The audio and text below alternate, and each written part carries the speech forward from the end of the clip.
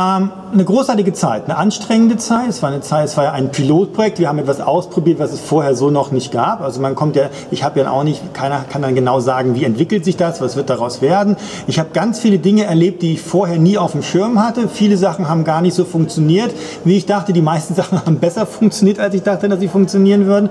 Und ich bin sehr dankbar, weil ich unglaublich tolle Menschen kennengelernt habe. Und ich bin wieder mal bestätigt worden, diese Erkenntnis, dass Bibliotheken nichts mit Gebäuden und nichts mit Büchern oder sonst was zu tun haben, sondern mit Menschen, mit Menschen, die darin arbeiten und mit Menschen, die äh, in diesen Bibliotheken irgendetwas tun. Und ähm, ich muss ganz ehrlich sagen, es ist beeindruckend, was Bibliotheken, gerade diese kleinen öffentlichen Bibliotheken tun. Da könnten sich auch einige große Bibliotheken echt eine Scheibe dran abschneiden.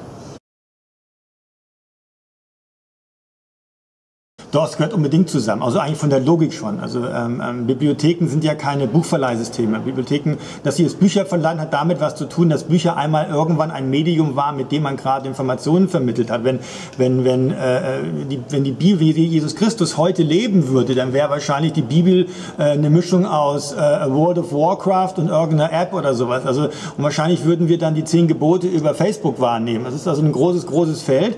Und ähm, für mich ist, ist, ist Social Media nichts anders als die natürliche Erweiterung einer Bibliothek. Und ich bin auch der Meinung, dass es weniger was zu tun hat mit Marketing und PR, als vielmehr, dass diese, diese ganzen digitalen Aktivitäten einfach den Raum Bibliothek natürlich erweitern.